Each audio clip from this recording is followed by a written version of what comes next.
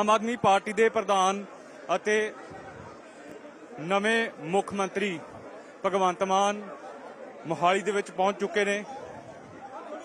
ਇਹ ਸਿੱਧੀਆਂ ਤਸਵੀਰਾਂ ਤੁਸੀਂ ਏਬੀਪੀ ਸਾਂਝਾ ਦੇ ਜ਼ਰੀਏ ਦੇਖ ਦੇਖ ਰਹੇ ਹੋ। ਆਮ ਆਦਮੀ ਪਾਰਟੀ ਦੇ ਪ੍ਰਧਾਨ ਭਗਵੰਤ ਮਾਨ ਸਿਰ ਦੇ ਉੱਤੇ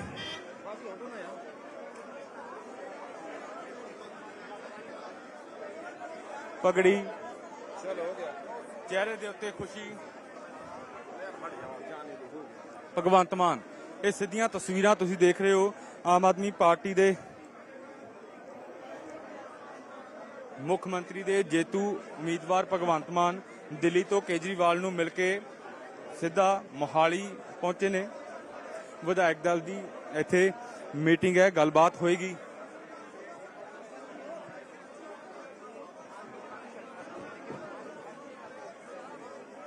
ਭਗਵੰਤ ਮਾਨ ਗੱਡੀ ਤੋਂ ਉਤਰ ਕੇ ਹੋਟਲ ਦੇ ਅੰਦਰ ਜਾ ਰਹੇ ਨੇ ਵਿਧਾਇਕ ਦਲ ਦੀ ਬੈਠਕ ਹੈ तमाम ਜੇਤੂ ਵਿਧਾਇਕ ਇੱਥੇ ਪਹੁੰਚ ਚੁੱਕੇ ਨੇ ਵੱਡੀ ਗਿਣਤੀ ਦੇ ਵਿੱਚ ਆਮ ਆਦਮੀ ਪਾਰਟੀ ਦੇ ਵਰਕਰ ਲੀਡਰ ਪਹੁੰਚ ਚੁੱਕੇ ਨੇ ਹਾਲਾਂਕਿ ਸਿੱਧਾ ਅੰਦਰ ਭਗਵੰਤ ਮਾਨ ਪਹੁੰਚ ਚੁੱਕੇ ਨੇ ਭਗਵੰਤ ਮਾਨ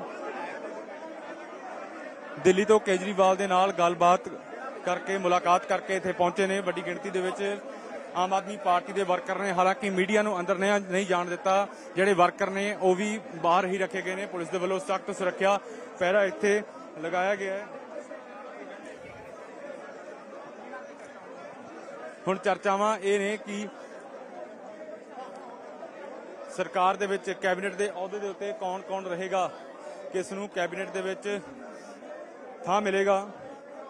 ਹਾਲਾਂਕਿ ਦਿੱਲੀ ਦੇ ਵਿੱਚ ਭਗਵੰਤ ਮਾਨ ਅਰਵਿੰਦ ਕੇਜਰੀਵਾਲ ਦੇ ਨਾਲ ਬੈਠਕ ਕਰਕੇ ਆਏ ਨੇ ਹਾਲਾਂਕਿ ਪਰ ਬੈਠਕ ਦੀ ਜੇਕਰ ਗੱਲ ਕਰੀਏ ਅੰਮ੍ਰਿਤਸਰ ਦੇ ਵਿੱਚ ਰੋਡ ਸ਼ੋਅ ਕੱਢਿਆ ਜਾਣਾ ਹੈ ਅਰਵਿੰਦ ਕੇਜਰੀਵਾਲ ਅਤੇ ਭਗਵੰਤ ਮਾਨ ਦੇ ਵੱਲੋਂ 13 ਮਾਰਚ ਨੂੰ ਅਰਵਿੰਦ ਕੇਜਰੀਵਾਲ ਅਤੇ ਭਗਵੰਤ ਮਾਨ ਰੋਡ ਸ਼ੋਅ ਕਰਨਗੇ ਅਤੇ 16 ਮਾਰਚ ਨੂੰ ਭਗਵੰਤ ਮਾਨ ਮੁੱਖ ਮੰਤਰੀ ਦੇ ਅਹੁਦੇ ਦੀ ਸਹੁੰ ਚੁੱਕਣਗੇ ਇਹ ਤਸਵੀਰਾਂ ਮੋਹਾਲੀ ਦੀਆਂ ਨੇ ਜਿੱਥੇ ਭਗਵੰਤ ਮਾਨ ਵਿਧਾਇਕ ਦਲ ਦੀ ਬੈਠਕ ਦੇ ਵਿੱਚ ਪਹੁੰਚੇ ਨੇ तमाम ਜਿਹੜੇ ਜੇਤੂ ਐਮਐਲਏ ਨੇ ਆਮ ਆਦਮੀ ਪਾਰਟੀ ਦੇ ਉਹ ਇੱਥੇ ਹਾਜ਼ਰ ਨੇ ਭਗਵੰਤ ਮਾਨ ਆਮ ਆਦਮੀ ਪਾਰਟੀ ਦੇ ਹਰਪਾਲ ਚੀਮਾ ਰਾਘਵ ਚੱਡਾ ਵੀ ਇੱਥੇ ਪਹੁੰਚ ਚੁੱਕੇ ਨੇ ਤੇ ਗੱਲਬਾਤ ਹੋਏਗੀ ਕਿ ਆਖਰ ਕਿਸ ਨੂੰ ਕੈਬਨਿਟ ਦਾ ਅਹ, ਕੀ ਅਹ, ਅਹੁਦਾ ਦੇਣਾ ਹੈ ਕਿਹੜਾ ਮੰਤਰਾਲਾ ਸੌਂਪਿਆ ਜਾਣਾ ਹੈ ਕਿਉਂਕਿ तमाम ਅਹ, ਜਿਹੜੇ ਲੀਡਰ ਹੈਗੇ ਨੇ ਜਿਨ੍ਹਾਂ ਨੇ ਵੱਡੇ ਅਹ, ਲੀਡਰਾਂ ਨੂੰ ਹਰਾਇਆ ਹੈ ਸਿਆਸਤ ਦੇ ਵੱਡੇ ਥੰਮ ਮੰਨੇ ਜਾਂਦੇ ਸੀ ਉਹਨਾਂ ਅਹ, ਲੀਡਰਾਂ ਨੂੰ ਮਾਤ ਦਿੱਤੀ ਹੈ ਤੇ ਹੁਣ ਭਗਵੰਤ ਮਾਨ ਇੱਥੇ ਪਹੁੰਚੇ ਨੇ ਸਵੇਰ ਤੋਂ ਇੰਤਜ਼ਾਰ ਕੀਤਾ ਜਾ ਰਿਹਾ ਸੀ ਹਾਲਾਂਕਿ ਸਵੇਰੇ ਸਤੌਜ ਪਿੰਡ ਤੋਂ ਭਗਵੰਤ ਮਾਨ ਸਿੱਧਾ ਆਮ ਆਦਮੀ ਪਾਰਟੀ ਦੇ ਸੁਪਰੀਮੋ ਦਿੱਲੀ ਦੇ ਮੁੱਖ ਮੰਤਰੀ ਅਰਵਿੰਦ ਕੇਜਰੀਵਾਲ ਨੂੰ ਮਿਲਣ ਦੇ ਲਈ ਦਿੱਲੀ ਪਹੁੰਚੇ ਸਨ। ਦਿੱਲੀ ਦੇ ਵਿੱਚ ਅਰਵਿੰਦ ਕੇਜਰੀਵਾਲ ਨੂੰ ਮਿਲੇ, ਮੁਲਾਕਾਤ ਕੀਤੀ, ਚਰਚਾਵਾਂ ਹੋਈਆਂ ਕਿਉਂਕਿ ਜਿੱਤ ਆਮ ਆਦਮੀ ਪਾਰਟੀ ਦੇ ਵੱਲੋਂ ਵੱਡੀ ਦਰਜ ਕੀਤੀ ਗਈ ਹੈ। ਇਸ ਵੱਡੀ ਜਿੱਤ ਦੇ ਜਸ਼ਨ ਆਮ ਆਦਮੀ ਪਾਰਟੀ ਦੇ ਪੰਜਾਬ ਭਰ ਦੇ ਵਿੱਚ ਤੁਸੀਂ ਦੇਖੇ ਤੇ ਹੁਣ ਆਮ ਆਦਮੀ ਪਾਰਟੀ ਸਰਕਾਰ ਬਣਾਉਣ ਦੀਆਂ ਤਿਆਰੀਆਂ ਦੇ ਵਿੱਚ ਹੈ।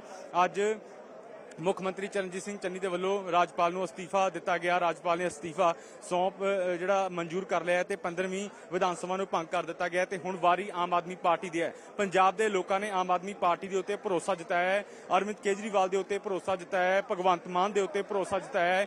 ਦਿੱਲੀ ਮਾਡਲ ਦੇ ਵਿੱਚ ਅਜਿਹਾ ਕੀ ਖਾਸ ਹੋਏਗਾ ਜੋ ਪੰਜਾਬ ਨੂੰ ਬਿਹਤਰ ਬਣਾਏਗਾ? ਹੁਣ ਸਾਰਾ ਭਾਰ ਆਮ ਆਦਮੀ ਪਾਰਟੀ ਦੇ ਉੱਤੇ ਹੈ, ਭਗਵੰਤ ਮਾਨ ਦੇ ਉੱਤੇ ਰਹਿਣ ਵਾਲਾ ਹੈ, ਅਰਵਿੰਦ ਕੇਜਰੀਵਾਲ ਦੇ ਉੱਤੇ ਰਹਿਣ ਵਾਲਾ ਹੈ, ਜਿਨ੍ਹਾਂ ਨੇ ਆਮ ਆਦਮੀ ਪਾਰਟੀ ਨੇ ਦਿੱਲੀ ਦਿੱਲੀ ਮਾਡਲ ਦੇ ਸੁਪਨੇ ਪੰਜਾਬ ਦੇ ਵਿੱਚ ਦਿਖਾਏ, ਪਰ ਇਹ ਸਭ ਤੋਂ ਪਹਿਲਾਂ 13 ਮਾਰਚ ਦਾ ਦਿਨ ਆਮ ਆਦਮੀ ਪਾਰਟੀ ਦੇ ਲਈ ਬੇहद ਖਾਸ ਰਹਿਣ ਵਾਲਾ ਹੈ। ਅੰਮ੍ਰਿਤਸਰ ਦੇ ਵਿੱਚ ਰੋਡ ਸ਼ੋਅ ਕੱਢਿਆ ਜਾਏਗਾ ਅਰਵਿੰਦ ਕੇਜਰੀਵਾਲ ਅਤੇ ਭਗਵੰਤ ਮਾਨ ਦੇ ਵੱਲੋਂ ਜਿੱਤ ਦੇ ਲਈ तमाम ਪੰਜਾਬ ਦੇ ਲੋਕਾਂ ਦਾ, ਵਰਕਰਾਂ ਦਾ ਧੰਨਵਾਦ ਕੀਤਾ ਜਾਣਾ। ਇਸ ਤੋਂ ਬਾਅਦ 16 ਮਾਰਚ ਪੰਜਾਬ ਦੇ ਲਈ ਅਹਿਮ ਹੈ। ਸਰਕਾਰ ਨਵੀਂ ਪੰਜਾਬ ਨੂੰ ਮਿਲਣ ਜਾ ਰਹੀ ਹੈ। ਆਮ ਆਦਮੀ ਪਾਰਟੀ ਦੀ ਸਰਕਾਰ ਪੰਜਾਬ ਨੂੰ ਮਿਲਣ ਜਾ ਰਹੀ ਹੈ।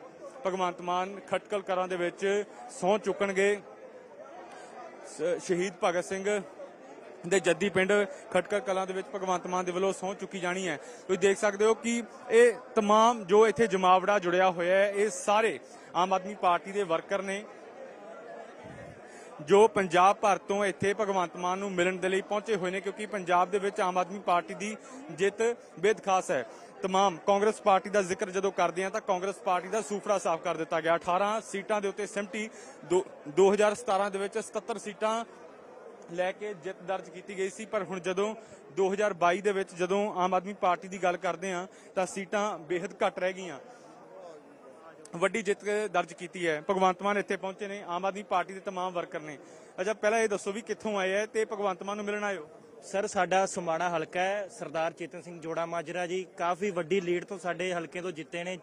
ਘੱਟੋ ਘੱਟ 40 ਯਾਰ ਦੀ ਲੀਡ ਤੋਂ ਸਾਡੇ ਹਲਕੇ ਤੋਂ ਜਿੱਤੇ ਨੇ। ਅਤੇ ਉਰੇ ਜੋ ਅਸੀਂ ਭਗਵੰਤ ਮਾਨ ਜੀ ਨੂੰ ਅਤੇ ਹੋਰ ਐਮਐਲਏ ਸਾਡੇ ਜੋ ਸਮਾਣੇ ਪੰਜਾਬ ਤੋਂ ਜਿੱਤ ਕੇ ਆਏ ਨੇ, ਅਸੀਂ ਉਹਨਾਂ ਨੂੰ ਮਿਲਣ ਆਏ ਹਾਂ। ਸਭ ਨੂੰ ਮੁਬਾਰਕਬਾਦ ਦੇਣਾ ਹੈ।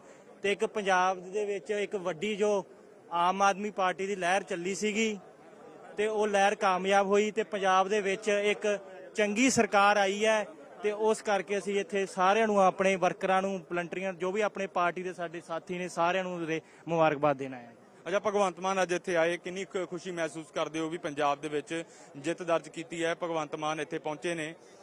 ਮਤਲਬ ਤੁਸੀਂ ਪੰਜਾਬ ਭਰ ਦੇ ਵਿੱਚ ਇੱਥੇ ਮਿਲਣ ਆਏ ਹੋ ਆਮ ਆਦਮੀ ਪਾਰਟੀ ਪਾਰਟੀ ਦੇ ਲਈ ਜਸ਼ਨ ਦਾ ਦਿਨ ਹੈ। ਅ, ਇਹ ਤਾਂ ਅਸੀਂ ਤੁਹਾਨੂੰ ਦੱਸ ਕੇ ਜਹਾਰ ਹੀ ਨਹੀਂ ਕਰ ਸਕਦੇ ਵੀ ਸਾਨੂੰ ਖੁਸ਼ੀ ਕਿੰਨੀ ਆ। ਵੀ ਮਾਨ ਸਾਹਿਬ ਜਿਹੜੀ ਸਾਨੂੰ ਉਮੀਦਾਂ ਸੀ ਇੰਨੇ ਚਿਰ ਦੀ ਅਸੀਂ ਮਿਹਨਤ ਕਰ ਰਹੇ ਆ ਇਸ ਪਾਰਟੀ ਵਾਸਤੇ ਅੱਜ ਸਾਡਾ ਸੀਐਮ ਬਣ ਗਿਆ ਭਗਵੰਤ ਮਾਨ। ਸਾਨੂੰ ਇਹ ਬਹੁਤ ਜ਼ਿਆਦਾ ਖੁਸ਼ੀ ਆ। ਪੰਜਾਬ ਭਰ ਦੇ ਵਿੱਚ ਹੁਣ ਭਗਵੰਤ ਮਾਨ ਆਏ ਆ ਅ, 16 ਅ, ਮ- ਮਾਰਚ ਨੂੰ ਸਹੁੰ ਚੁੱਕ ਸਮਾਗਮ ਹੋਏਗਾ ਖਟਕਲ ਕਲਾਂ ਦੇ ਵਿੱਚ। ਕੀ ਤਿਆਰੀਆਂ ਨੇ ਤੁਹਾਡੀਆਂ ਆਪ ਆਪ ਦੀਆਂ? ਸਾਡੇ ਵੱਲੋਂ ਤਾਂ ਤਿਆਰੀਆਂ ਮੁਕੰਮਲ ਨੇ ਜੀ। ਬੜੇ ਬਹੁਤ ਵੱਡੇ ਇਕੱਠ ਦੇ ਨਾਲ ਜਾਵਾਂਗੇ ਅਸੀਂ ਤੇ ਵਿਆਹ ਵਾਲਾ ਮਾਹੌਲ ਹੈ ਇਸ ਵੇਲੇ ਪੰਜਾਬ 'ਚ।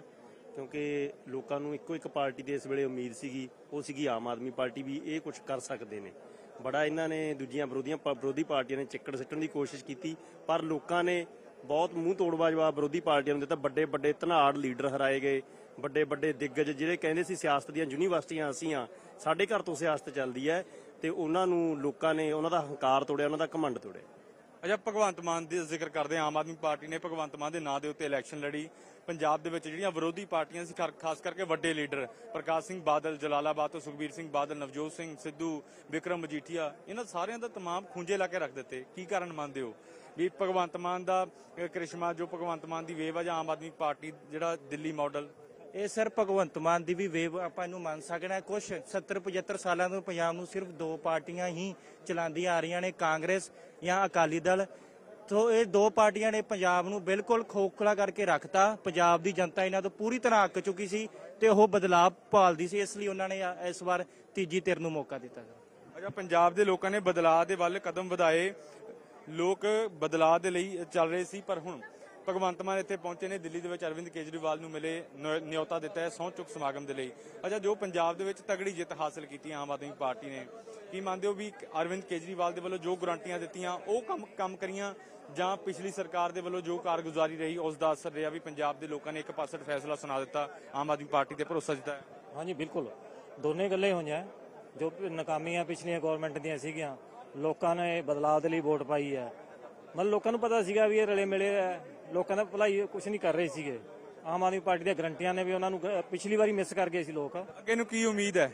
ਅੱਗੇ ਨੂੰ ਕੀ ਉਮੀਦ ਹੈ? ਬਹੁਤ ਉਮੀਦ ਹੈ ਵੀ ਉਹ ਜੋ ਜੋ ਵੀ ਇਹਨਾਂ ਨੇ ਗਰੰਟੀਆਂ ਦਿੱਤੀਆਂ ਪੂਰੀਆਂ ਕਰਨਗੇ। ਲੋਕਾਂ ਦੀ ਬੈ- ਬੈਲ ਵਾਸਤੇ ਬਿਲਕੁਲ ਸਹੀ ਕਰ ਸੋ ਭਗਵੰਤ ਮਾਨ ਅਰਵਿੰਦ ਕੇਜਰੀਵਾਲ ਨੂੰ ਮਿਲਣ ਮਿਲ ਕੇ ਮੋਹਾਲੀ ਦੇ ਵਿੱਚ ਪਹੁੰਚੇ ਨੇ। ਵਿਧਾਇਕ ਦਲ ਦੀ ਬੈਠਕ ਹੈ। ਬੈਠਕ ਦੇ ਵਿੱਚ ਸ਼ਮੂਲੀਅਤ ਕੀਤੀ ਜਾਏਗੀ ਤੇ ਦੇਖਿਆ ਜਾਏਗਾ ਕਿ ਕਿਹੜੇ ਉਮੀਦਵਾਰ ਨੂੰ ਜੇਤੂ ਉਮੀਦਵਾਰ ਨੂੰ ਐਮਐਲਏ ਨੂੰ ਆਮ ਆਦਮੀ ਪਾਰਟੀ ਦੇ ਨੂੰ ਕੀ ਅਹੁਦਾ ਦੇਣਾ ਹੈ। ਤੇ ਕਿਸ ਨੂੰ ਕਿਸ ਤਰ੍ਹਾਂ ਸੈਟਲ ਕਰਨਾ ਹੈ। ਹਾਲਾਂਕਿ ਵੱਡੇ ਜਿਹੜੇ ਕਦਾਵਰ ਲੀਡਰਾਂ ਨੂੰ ਹਰਾਉਣ ਵਾਲੇ ਇੱਥੇ ਐਮਐਲਏ ਵੀ ਪਹੁੰਚੇ ਹੋਏ ਨੇ ਤੇ ਹੁਣ ਵਿਧਾਇਕ ਦਲ ਦੀ ਬੈਠਕ ਇੱਥੇ ਸ਼ੁਰੂ ਹੋਈ ਹੈ। ਭਗਵੰਤ ਮਾਨ ਦੇ ਨਾਲ ਇੱਥੇ ਵਰਕਰ ਵੀ ਮਿਲਣ ਦੇ ਲਈ ਪਹੁੰਚੇ ਹੋਏ ਨੇ। ਕੈਮਰਾਮੈਨ ਮਿਹਰਬਾਨ ਸਿੰਘ ਦੇ ਨਾਲ ਅਮਨਦੀਪ ਸਿੰਘ ਏਬੀਪੀ ਸਾਂਝਾ ਮੋਹਾਲੀ।